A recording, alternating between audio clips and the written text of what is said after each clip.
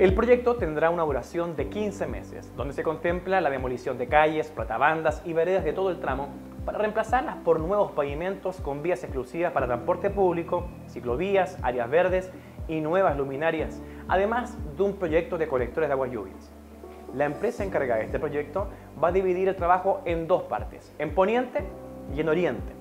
Esta obra es parte del proyecto que busca implementar vías exclusivas para todo el eje de Vicuña Maquena, permitiendo trasladarse entre las comunas de Santiago Centro y Puente Alto, en un tiempo de desplazamiento que va a disminuir casi en un 50%.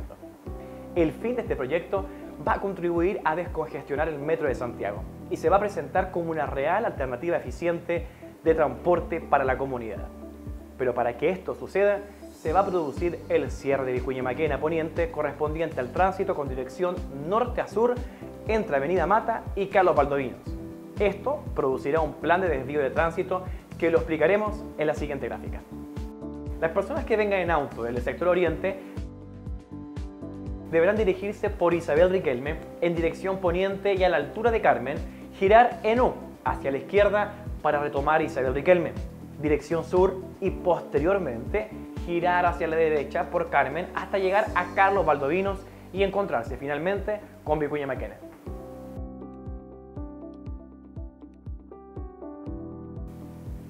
Las personas que vengan en auto desde el sur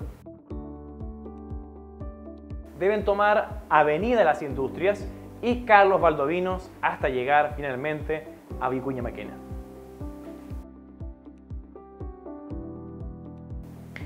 Las personas que vengan en auto desde el norte tendrán que hacerlo desde la Avenida Las Industrias, atravesar Carlos Valdovinos, ya que no se puede virar de forma directa, por lo tanto, la solución es virar en U por la calle Gandarillas hasta Sierra Bella, virar hacia la derecha y subir por Carlos Valdovinos hasta encontrarse con Vicuña Maquena. Las personas que vengan desde el poniente deben preferir Carlos Valdovinos hasta Vicuña Maquena.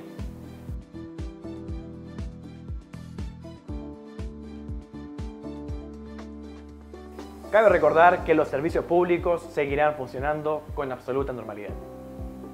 Les recordamos que la entrada será siempre por Carlos Valdovinos y la salida será por El Pinar.